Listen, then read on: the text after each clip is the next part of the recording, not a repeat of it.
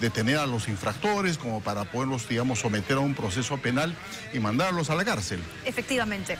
Vámonos en vivo a Caraballo. Melissa Rodríguez, contigo, adelante de los detenidos, los que estamos viendo en estos momentos, Tatiana. Estamos en Caraballo. Ahí la policía está mostrando, el grupo Greco especializado está mostrando los rostros de los detenidos. Y el ministro del Interior más temprano comentaba que son cuatro las personas hoy capturadas dentro de este búnker donde mantuvieron en cautiverio por 11 días a la empresaria de gimnasio Jacqueline Salazar. Ahí nuevamente hacemos hincapié, por favor, para que otras personas tal vez que han sido víctimas de estos sujetos puedan denunciarlos también. Son los rostros de los secuestradores. ¿Hay uno acá?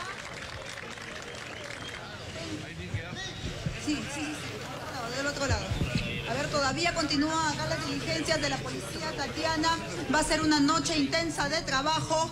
Jacqueline en estos momentos ya probablemente está siendo trasladada a una clínica también para verificar su condición de salud. Ha estado su papá acá dando declaraciones, hablando de que no han pagado ni un sol para que finalmente la policía pueda lograr esta importante captura. Vemos al otro sujeto acá dentro de la camioneta de la policía que los va a dirigir hacia la Dirincri, eh, Tatiana. Así es, con el rostro cubierto, no quieren ser expuestos estos delincuentes que han sido hoy capturados y que van a ser procesados. Eso, a eso hay que hacer énfasis. Ellos han sido detenidos en flagrancia, ojo, mientras estaban cometiendo el delito de secuestro. Ministerio Público, Poder Judicial, estas personas no pueden no pueden volver a la calle. Tenían antecedentes, además, según comentó el ministro del Interior. Así que va a ser importante, además, conocer cómo es que estaban operando, quiénes son. Sabemos de momento que son todos ciudadanos peruanos, pero es la información que tenemos. Melissa, ¿algo más que comentar?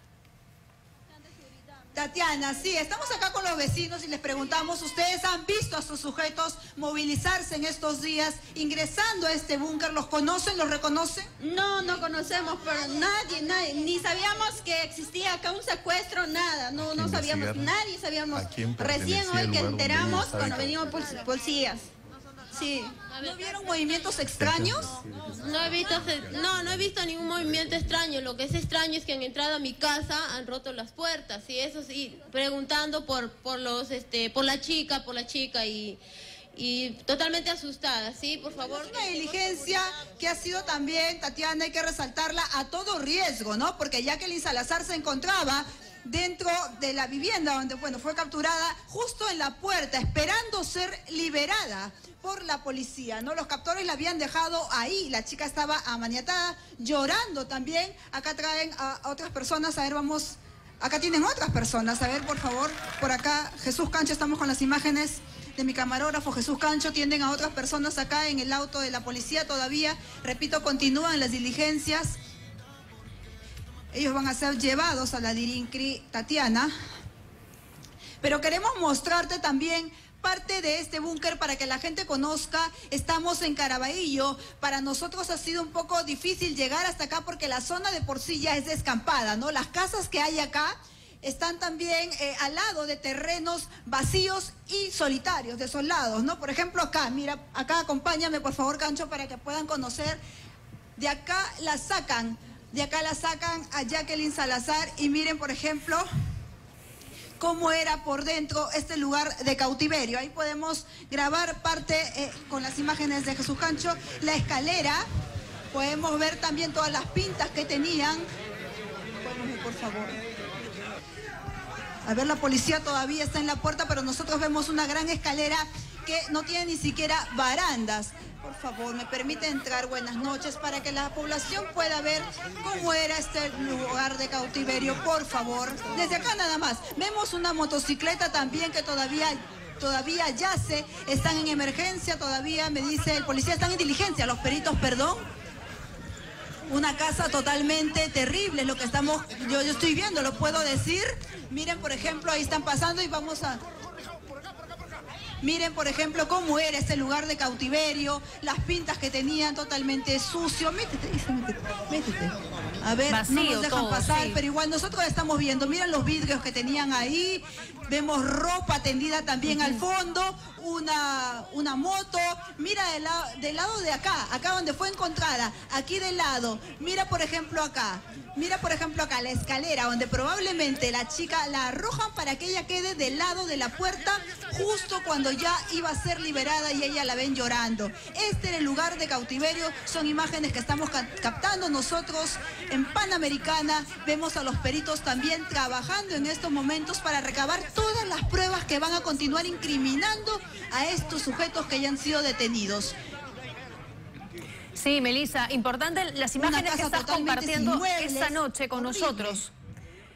El espacio donde ella ha estado recluida, estos eh, secuestrada, estos 11 días.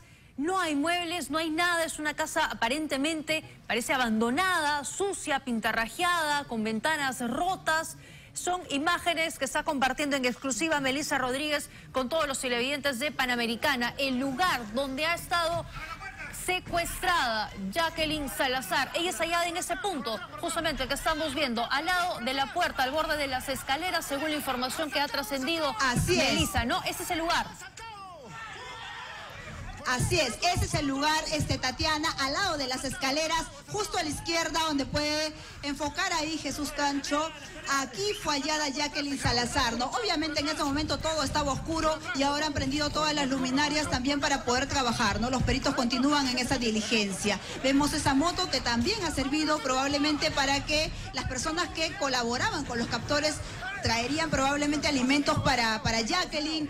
Todo está acá intocable, ¿no? Porque los peritos continúan trabajando, repito. Vamos a ver ahora del otro lado, por ejemplo, los terrenos aledaños, por donde escaparon también algunos de los cómplices, porque escuchábamos en el video que la policía decía, ¿no? Saltó, saltó toda esta zona. Miren, por ejemplo, aquí se lee cemento.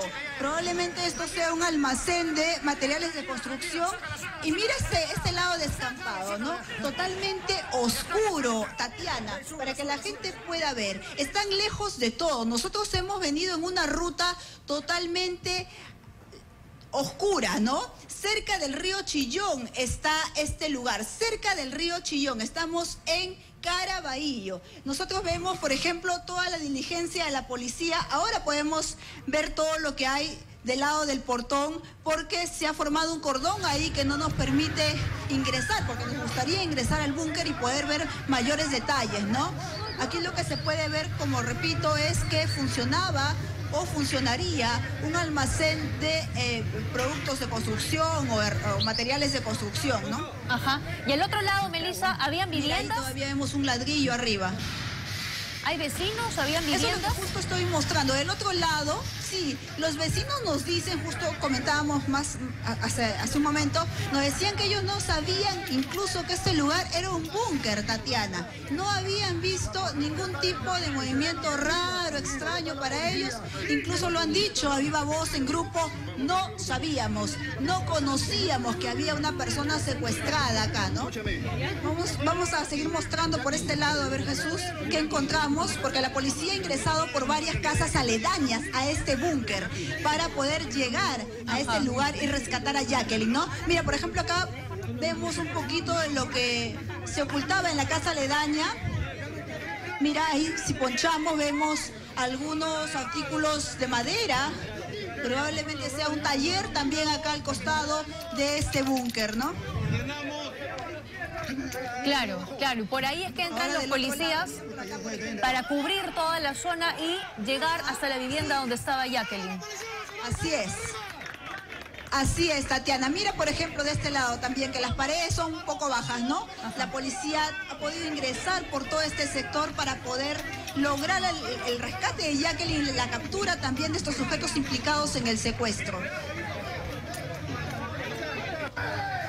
Muy bien, ya funcionaba una losa deportiva del lado izquierdo también, ¿no? Pero aquí hay alumbrado público, del otro lado no hay. Y nos decías que todo el camino en general no hay luz, es una zona bastante alejada de la ciudad, poco movimiento, poco comercio. Ahí ha estado Jacqueline.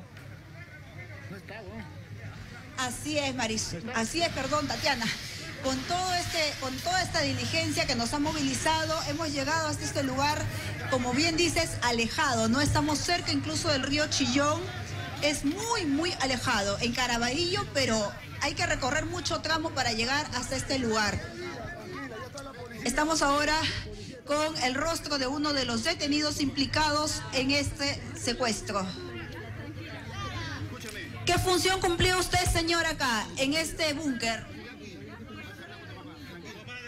¿Qué función cumplía con Jacqueline? ¿Qué tenías que hacer acá? ¿Qué misión te habían dado los jefes de la banda criminal que la tenían acá en cautiverio? A ver por acá. Señor, ¿qué función cumplía usted? ¿Qué función cumplía usted, señor? Otro lado igual para poder captarlo, por favor. Vamos a movernos para allá. Anda para allá, por favor. Señor, ¿qué tiene que decir usted en su defensa? Están encontrando en flagrancia. ¿Qué tiene que decir usted? ¿Le pide perdón a la familia de Jacqueline?